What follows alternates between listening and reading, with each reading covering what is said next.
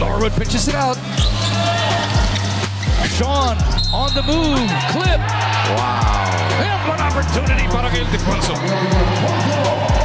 Ang bilis ng Rainer siya. Another great defensive possession coming from Gio Mamuya. Tambatak recovers. Karagut. Iniwan kay Demusis. Wow!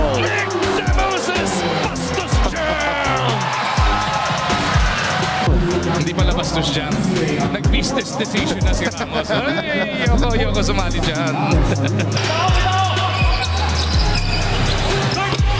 Talaga majority of the possessions. Ano? Demusis gets him another serving. Uh-oh. Thompson and Demusis going nose to nose. Forehead to forehead.